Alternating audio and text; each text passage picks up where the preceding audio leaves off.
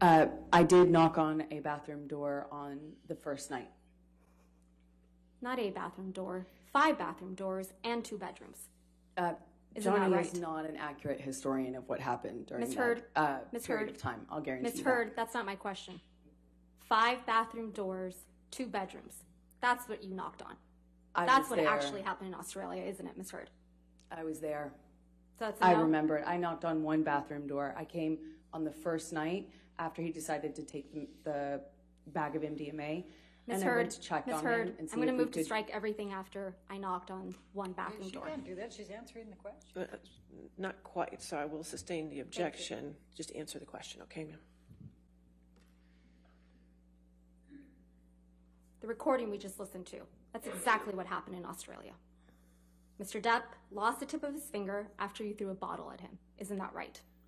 That is incorrect. You're the one who assaulted someone with a bottle in Australia. Isn't that right, Ms. Heard? I didn't assault Johnny in Australia. I didn't assault Johnny ever.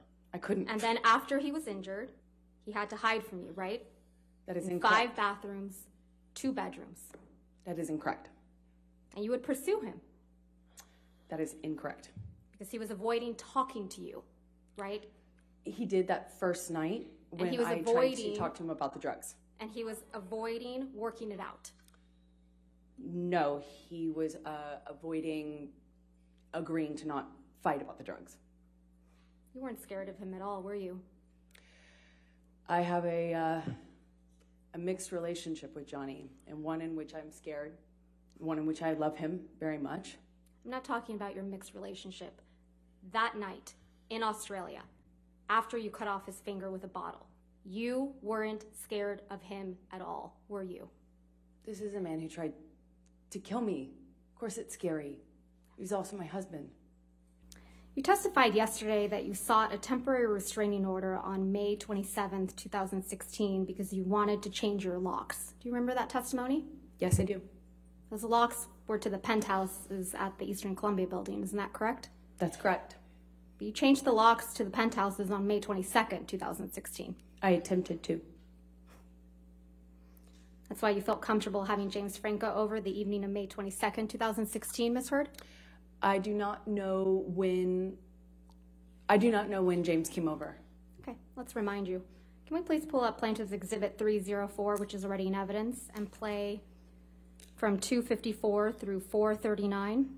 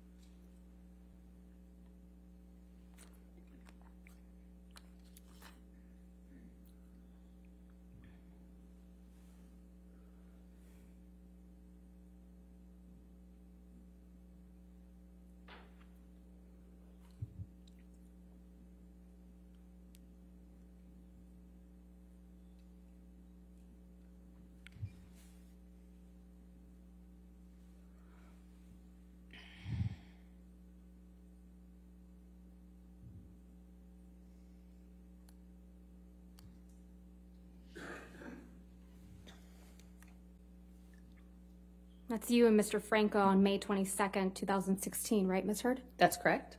And you're taking him up to the penthouses, aren't you? That's where I lived. Yes. And it's past 11 p.m. at night, isn't that right? I'm not quite sure of the time. It looked. It looked like that. Why don't we pull that video back up